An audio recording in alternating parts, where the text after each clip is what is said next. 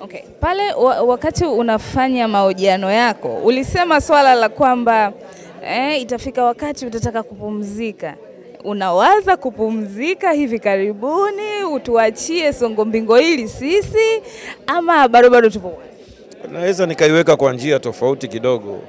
Mimi miaka yangu yote imekuwa kuempower watu waweze kuendelea na kufanya vitu vingine. Bahati mbaya au bahati nzuri, mi ni mtu ambaye mara nyingi huwa nafikiria kufanya mambo mengi iwezekanavyo katika njia tofauti, lakini mara nyingi kwangu mimi nimekuwa ni mtu ambaye najaribu kwa kiasi kikubwa sana kutengeneza platform. Nikishatengeneza platform na waachia watu wengine waendelee.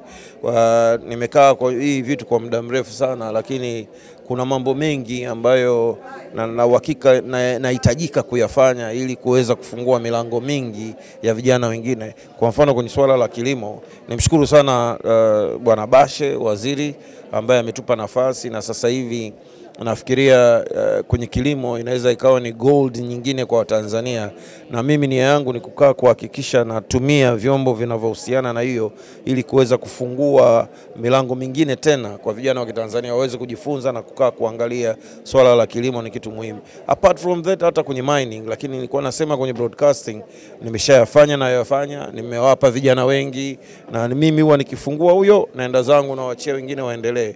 Kwa hiyo nimezungumzia sio kwa ubaya tu, lakini nimezungumza kwamba nilichokifanya kiukweli, nahitaji sasa nipate vijana wengine tena ambao nao watakuwa watakuwa na, na, na munku wa kusema kwamba bana, sasa this is our time. Dunia inabadilika, technologies zinabadilika, wengi wanakwenda shule na vijana wengi wa Kitanzania wanataka kurudi na kuja kufanya mambo makubwa. Kwa hiyo kwangu mimi nazungumzia kubaki kumenta zaidi kuliko kuwa mtendaji kwa asilimia mia moja. Mimi nimementa radio stations nyingi, nimewasaidia radio stations nyingi. Mi ni kama mlezi tu wa hizo radio nyingine station. Sasa uh, kwa kumalizia, naomba uongee na kijana ambaye anakutazama uh, sasa hivi kupitia uh, The Bantu, umwambie neno moja la busara, kijana ambaye sasa hivi anajitafuta ku make a way in life. Mimi nachoweza kusema ni swala muhimu sana kwa vijana wetu ni kufocus na kufocus na kufocus kwa kitu ambacho anaona anaweza kakifanya. Hakuna uchawi wa aina yoyote tofauti na wewe kuweka akili yako na kuweza kufocus kwa kiasi kikubwa na kuweka malengo yako ni nini unachoweza kukifanya. Na nafikiria sisi kwa sababu kubwa ya hivi vyombo ambavyo tunavizungumza sasa ni kwa sababu kubwa ya kuhakikisha kwamba tunatoa nafasi ya watu ambao wametutangulia wengine na sisi ambao tupo kwenye hii kitu kuweza kuwapa mbinu za kimaisha, mbinu za kibiashara, lakini hakuna uchawi mwingine wowote zaidi ya kuweza kufocus kiasi kikubwa kwa kitu unachoamka. Ukiamka, discipline ni vitu vya maana sana.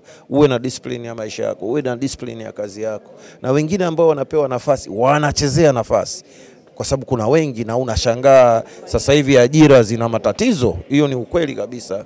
Kwa hiyo mimi ni kujaribu kwa kiasi kikubwa sana kuwaambia hasa vijana wanaokuja hawa kuhakikisha kwamba ukipewa nafasi deliver.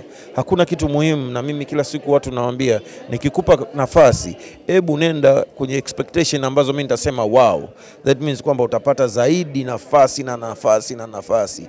Lakini wengi, unajua, mwanzo wa kutafuta kazi wanakuwa ni watu ambao watapiga magoti, watafanya nini, wakishapata kazi inakuwa ni dharau na mambo ya kusengenyana na kusemana. Nafikiria sio kitu ambacho vijana wengi wangetakiwa focus na shughuli unazozifanya, make sure kwamba una deliver kuliko unavyotakiwa kudeliver. That's the best way to go.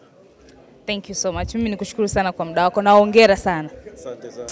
Hongera na nyinyi wenyewe Sibongo, mnafanya vizuri na na uhakika kwa uongozi mliokuwa nao, visionaries, vijana wadogo ambao wana vision, na uhakika kabisa kutakuwa kuna mabadiliko mengi sana ambayo yanaweza yakasaidia tasnia ya habari iweze kwenda kwenye level nyingine tofauti. Mimi ni yangu ni kuona wigo mkubwa sana wa tasnia ya habari, sio mimi tu. The Bantu. The Bantu.